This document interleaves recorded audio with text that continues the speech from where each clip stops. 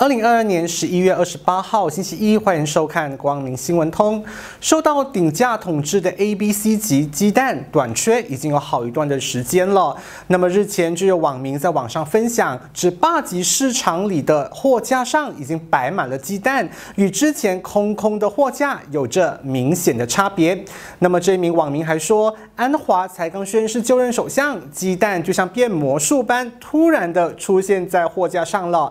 难道安？华会生鸡蛋，但是啊，本地呢八级市场买定的创办人兼集团董事经理拿杜阿米尔就指出，尽管坊间流传有超市鸡蛋存货充足的照片，但事实上我国的鸡蛋供应问题依然是还没有解决的。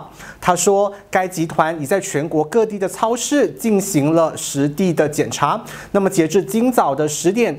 置放鸡蛋的货架都是空空如也。他指出，根据鸡蛋生产商，鸡蛋短缺问题症结在于生产的成本高于鸡蛋的售卖顶价。试问有多少的商家愿意做亏本的生意？因此，鸡蛋供应才会持续处在不稳定且短缺的情况。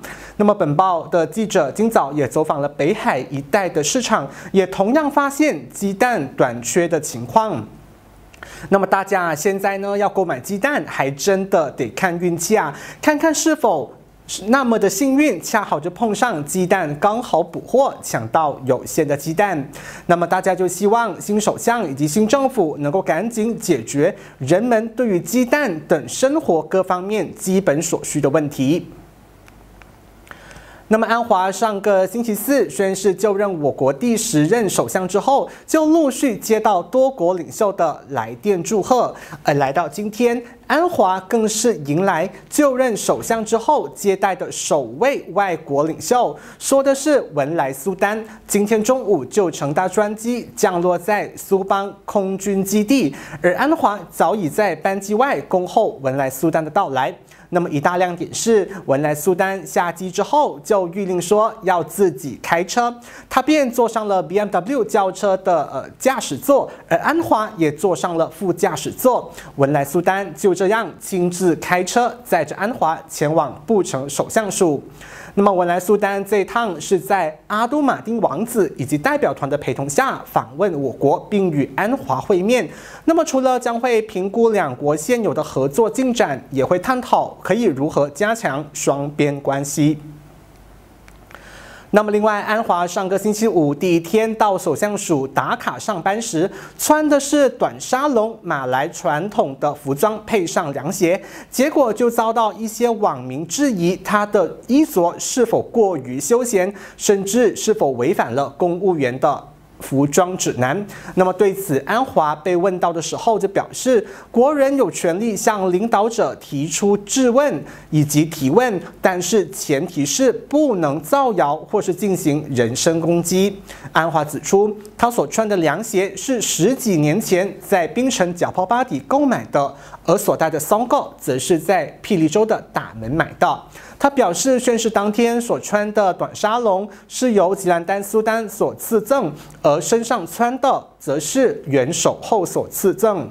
不过啊，说了那么多，安华似乎是没有直接说明为何他以首相身份上班的第一天会一反传统不穿西装。那安华是已经宣誓就任为我国首相了嘛？但不少人呢，现在就在猜测正副部长的阵容，在涉及多党多派的团结政府里，官职究竟要怎么样子去分配？包括马华会否入阁，就引起了关注。而马华今天也召开了会议，讨论马华的前景。那么出席会议的马华交赖区会主席沈永平就说道。大家看，连独立人士都可以入阁。如果马华有有机会，为何不入阁呢？他因此就绝对的支持马华入阁的决定。至于马华总秘书张胜文在会后被媒体追问时，则是回应说，截至目前，马华并没有收到任何加入内阁的邀请，而今天的会议也没有讨论入阁的事项，马华也绝对没有向首相提出任何的要求。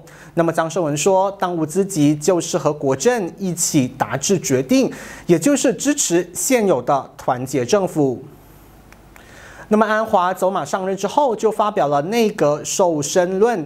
由于新政府是由东马、西马多个联盟与政党组成，在生多粥少的情况之下，要如何去公平分配这个官位，就很考验安华的政治智慧了。而对于只赢得两席的马华是否还能够入阁，时事评论员就认为马华要争取一官半职，看似机会渺茫。时事评论员许文思律师就指出，马华来自国政，因此推荐谁当官，名单还是得从由乌统主导的国政这一边去提成。而且西蒙里头有能力的华裔领袖是大有人在，因此马华入阁是挑战重重。另外，那个要瘦身，也相当的考验部长的驾驭能力。那么另一方面，首相署今天也声明，社交媒体，特别是脸书流传的一张恭喜国政兼乌统主席拿督斯里阿莫扎西受委副首相兼内政部长的海报内容是假的。那么你又希望哪个部长职位是由谁来出任呢？那就欢迎大家留言讨论了。今天的新闻通就给您播报到这里，感谢收看。